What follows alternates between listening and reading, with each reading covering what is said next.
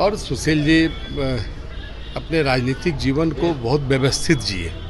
जी के बिहार की राजनीति का एक योद्धा चला गया। जब जलपान में अगर विलम्ब भी विलम्ब हो रहा है तो जलपान छोड़कर नियत समय पर कार्यक्रम में वो जाते थे। भाजपा नेता सुशील मोदी की देखिए कल बीते शाम दिल्ली के एम्स में आकस्मिक मौत हो गई ऐसे में देखा जाए तो भाजपा में शोक की लहर है और ऐसे में बिहार के पूर्व के उप मुख्यमंत्री रहे तारकिशोर प्रसाद हैं। जुड़ेंगे बात करेंगे। तारकिशोर जी कैसे याद कर रहे हैं आपके नेता सुशील मोदी की कल सुशील मोदी जी का जाना हम सबों के लिए काफ़ी दुखद है और मेरा तो उन्नीस सौ बहत्तर से अखिल भारतीय विद्यार्थी परिषद में हमारे से कार्यकर्ताओं को उन्होंने सहेजा और राजनीति का ककहरा भी मैंने उन्हीं से सीखा।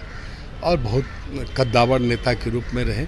और बिहार की जो राजनीति है या बिहार का जो सामाजिक ताना बाना है, उसकी जो समझ सुशील जी में थी, उसे बहुत कम नेताओं में थी। और सुशील जी अपने राजनीतिक जीवन को बहुत व्यवस्थित जिए। और यहाँ तक कि विधायी कार्यों में भी उनकी काफ़ी निपुणता रही। और विधायी और संसदीय कार्य में भी उनका उनकी अपनी सोच थी।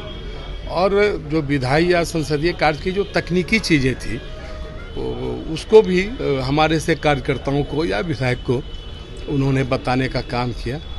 और बड़ी सी बड़ी जटिल चीज़ों को भी बहुत सहजता से अपनी बात को वो कहते कुछ यादें जो साझा करना चाहेंगे नहीं निश्चित तौर पर हम लोग तो बहुत एक लंबे वक्त तक आ, उनके साथ रहे। और समय के वे बहुत पाबंद थे। मैंने देखा है कि कई कार्यक्रमों में जब जलपान में अगर विलम्ब भी विलम्ब हो रहा है तो जलपान छोड़कर नियत समय पर कार्यक्रम में वो जाते थे। सबसे जो अच्छी बात उनके साथ थी। माना जाए भाजपा को बड़ा झटका लगा है एक बड़ा स्तंभ नहीं यह तो इतना मुझे कि बिहार की राजनीति का एक योद्धा चला गया। याद करेंगे।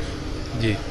देखिए याद करेंगे और ऐसे में बिहार की राजनीति का एक बड़ा योद्धा चला गया सुशील कुमार मोदी, जिनका नाम है ऐसे में बिहार के पूर्व के उप मुख्यमंत्री रहे सुशील कुमार मोदी का जिस तरीके से कैंसर से पीड़ित थे, इसको देखते हुए कल दिल्ली के एम्स में निधन हो गया, जिसके बाद कहीं ना कहीं शोक की लहर है ऐसे में। भाजपा कार्यालय में मेरी मौजूदगी है, लगातार जो नेता हैं, कार्यकर्ता हैं, वो काफ़ी दुखी हैं और लगातार सुशील मोदी को याद कर रहे हैं। फ़िलहाल आप सुन रहे थे बिहार के पूर्व के उप मुख्यमंत्री तारकिशोर प्रसाद को क्या कुछ कहते सुशील मोदी को लेकर ऐसे में यह साफ़ कहते हुए नज़र आ रहे थे कि काफ़ी सारी यादें हैं और काफ़ी सारी यादें जो हैं उनसे जुड़ी हुई है। ऐसे में मार्गदर्शन भी जो है कहीं ना कहीं देखा जाए तो उन्हीं से हमें मिला है। और भी तमाम खबरों के लिए बने रहे हमारे साथ। पटना से सहयोगी विकास के साथ अभिषेक की रिपोर्ट।